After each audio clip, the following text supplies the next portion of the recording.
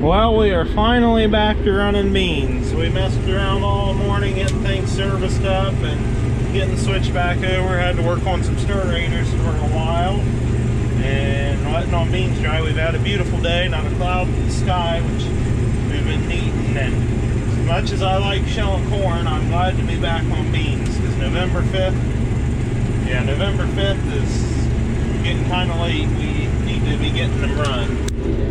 I didn't figure conditions would get ideal, but this isn't too bad. It's about 2 o'clock. We just got up here. We ate some lunch and I went one pass down and I'm getting this little bit and this field's done.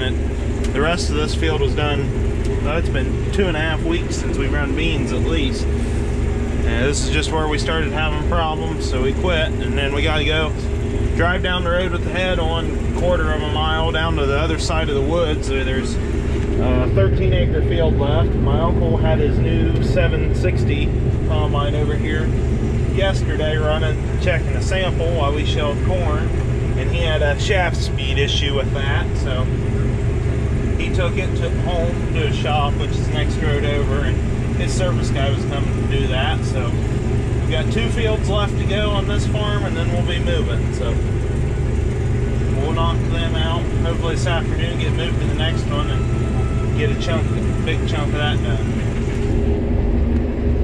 two 30 foot combines ought to make some beans disappear today if we can get them both running and everything goes good. Well, we've moved to the next farm. Ben and I were out here. We're shutting her down for the night because they're just not feeding very well. We're gonna take stuff over here and park it and run my uncle semi back to his place. My uncle and DJ they're shuffling equipment around right now.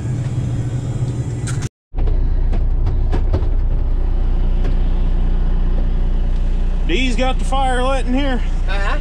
Dee's got the fire lit in here. That's good. Yes, it is nice and warm. Left my coat at the farm. Yeah. Both of mine are in the in the red tractor. And then uh Pulling into the field here where we quit last night. I'm gonna start my combine and get it warming up. DJ's and I are gonna run up to where we were before here and get our grain cart because he got it emptied this morning. So I'll stop and fill the beans, see how dry they feel too while we're here. I think my uncle's getting ready to move his combine up here, so we'll be running too and get things knocked out pretty quick. Well, my uncle just got here and got head on his 760 and he's running. I'm getting the last little dab of these rows over here finished up. Our, our map isn't going to be filled in very well because we've got two machines running and one's Green Star and one's Case system. So and at least we'll be able to compare. I know I, well, he might not have a map. His receiver and everything got messed, got smashed in the accident, so I don't even know if he'll be mapping or not. He'll probably have an instant shield, but I doubt he's mapping.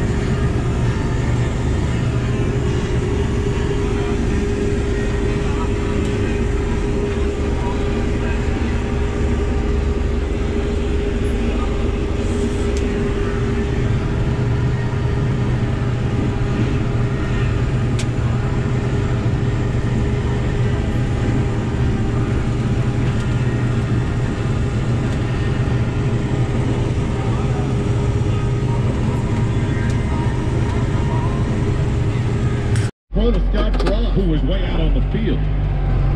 Well, ours is broke. They uh, crank somehow the